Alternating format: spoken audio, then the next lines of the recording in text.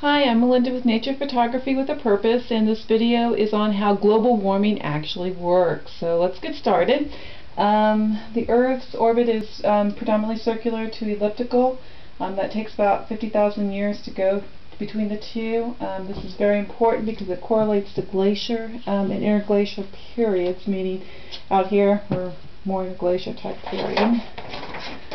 Obliquity refers to that the Earth is not perpendicular on its axis, it actually tilts towards the Sun.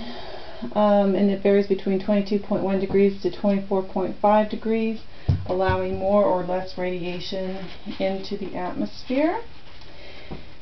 Then we the troposphere, which is the atmosphere in which you and I live in, predominantly made up of nitrogen, oxygen, argon. These gases do not absorb radiation. There are gases that do absorb radiation, H2O, CO2, methane being natural sources. CFCs are man-made gases. These actually live for hundreds to thousands of years and make it up into the stratosphere where the ozone layer is. The ozone layer is needed because it helps reflect back some of the radiation that's coming from the sun. The ozone um, is being depleted by the CFCs. Um, ice cores.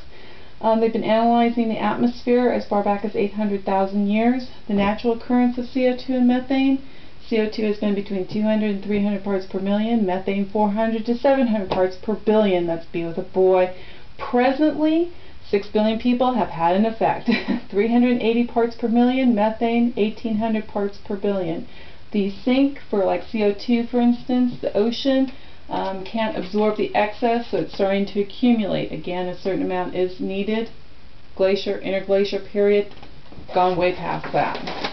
How does all this work? Solar radiation comes in at very short wavelengths and is either absorbed or reflected back. It's the reflecting back um, in the longer wavelengths that those gases, CO2, methane, begin to absorb that radiation, slowly releases it back out into the atmosphere or releases it back down into the atmosphere. It's the release back down into the atmosphere that warms us up. Again, a certain amount is needed, otherwise it's just way too cold here.